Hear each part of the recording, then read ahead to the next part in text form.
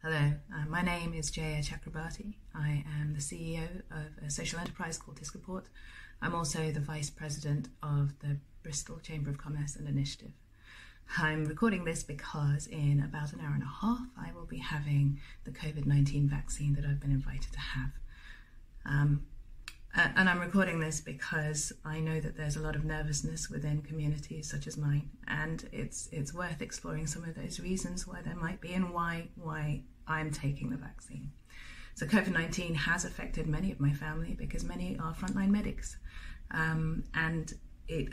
I've seen what it's done to them, but also I've heard the stories of, of how real this vaccine, this virus is, and how real the impacts are on families of those who have been affected by it, and obviously the deaths. Also, last year, my mother, who uh, broke her hip, uh, ended up in hospital and contracted COVID 19 in hospital. We, we didn't think we'd get her back, but luckily we did. So, this is very real to me and very real to my family. And um, uh, I, I wanted, wanted to explain what my story is. Why have a vaccine? I'm taking it because uh, the more people in our communities that have this vaccine, the more protected our most vulnerable members of our community are. It, it should be a no brainer for me. It's a no brainer for many others. All of the members of my family who've been offered the vaccine have taken it. My mother, who is a retired doctor, has had it. My father, who is a retired scientist, has had it. I'm a scientist, and this is not a political decision. For me, this is a scientific um, and uh, community based decision for me. It's better for society that we all have it and get over this thing. Am I scared? well, I am scared, but not of the vaccine.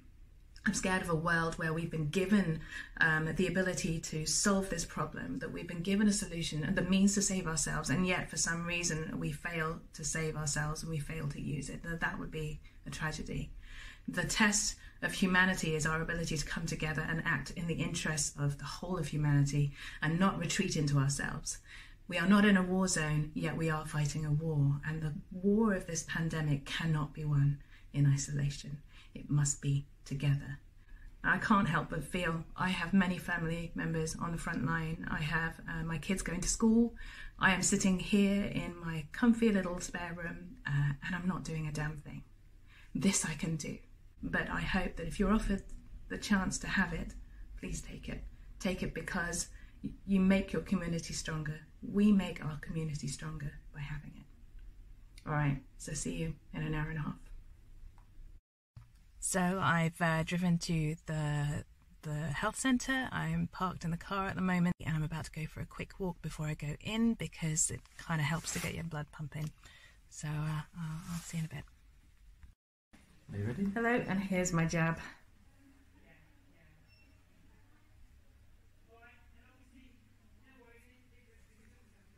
That's all there is. That was it. Yeah, that's Phenomenal. Thank you very much. Yeah, okay. Well, that's it. I've had my jab. It was surprisingly quick, really easy. Um, I didn't cry. I'm quite proud of myself.